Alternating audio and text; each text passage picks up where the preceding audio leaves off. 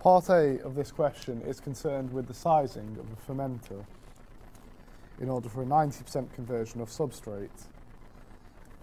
In order to solve this, we first need to find the dilution rate um, of fluid going into the fermenter.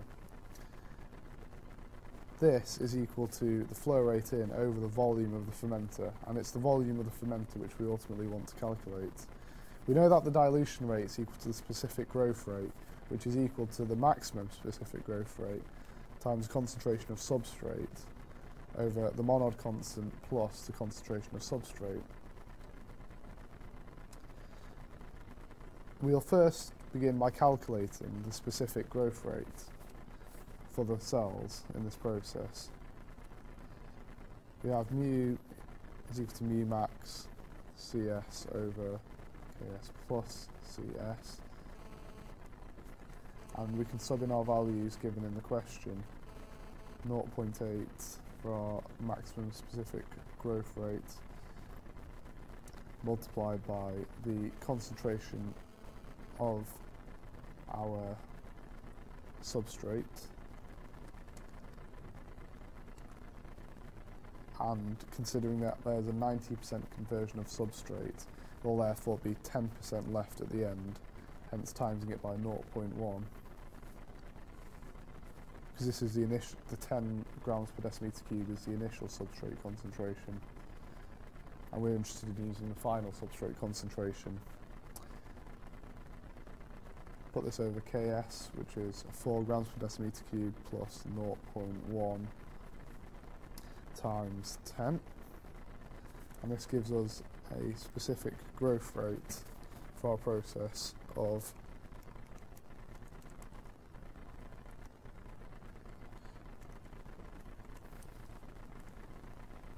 of 0.16 hours to minus 1. We can then rearrange our equation from before into the form V equals Q over D over mu. V equals Q over mu, the specific growth rate.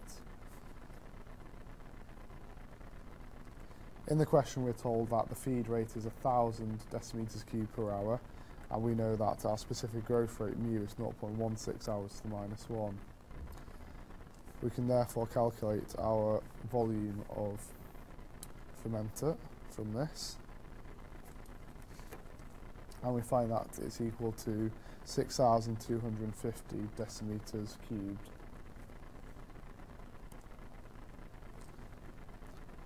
Part B of the question asks us to find the exiting cell concentration for the process. So we have our yield co-equation of substrate over cell concentration.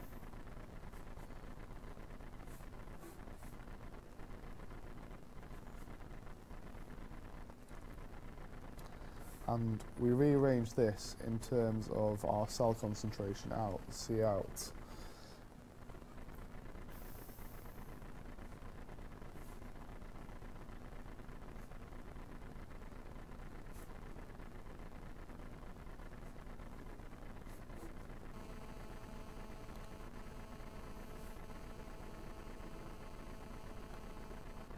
That's a negative.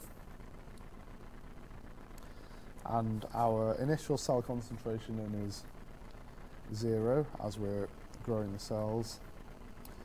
And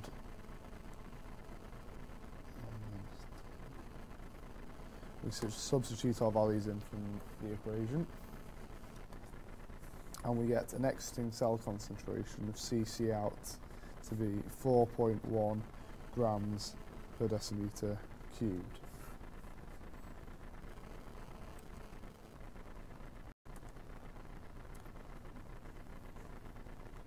Part C of the question is to determine the volumetric flow rate at which washout will occur and the flow rate at which the cell production rate will be at a maximum.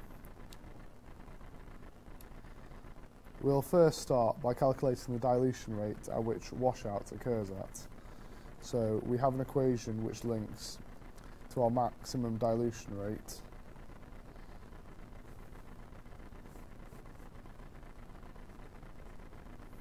And we can find our maximum dilution rate from this using the values given in the question we find that the maximum dilution rate possible for this process is 0.5714 hours the minus 1.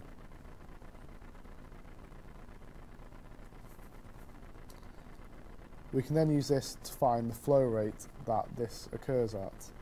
So bearing in mind that D equals Q over V, and therefore Q equals dV, bear in mind that our volume of fermenter is 6,250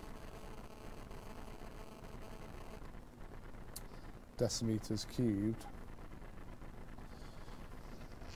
We can then state our volumetric flow rate is 0.5714 times 6,250 which is equal to 3,571 decimeters cubed per hour. And then in order to calculate the flow rate at which the cell production is at a maximum, we need to calculate the dilution rate at which the cell production rate is at its maximum.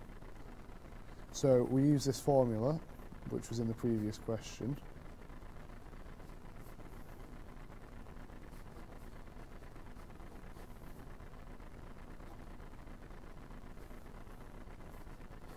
and we can just substitute the values into it which we get in our question.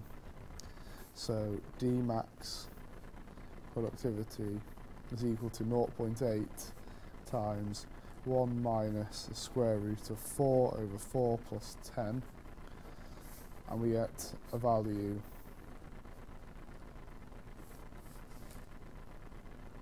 equal to 0.3724 hours minus 1.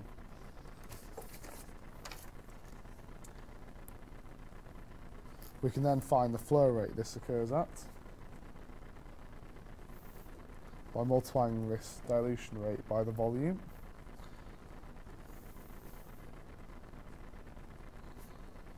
And we find that this maximum flow rate, this flow rate for maximum productivity, Q is equal to 2,327 decimeters cubed per hour.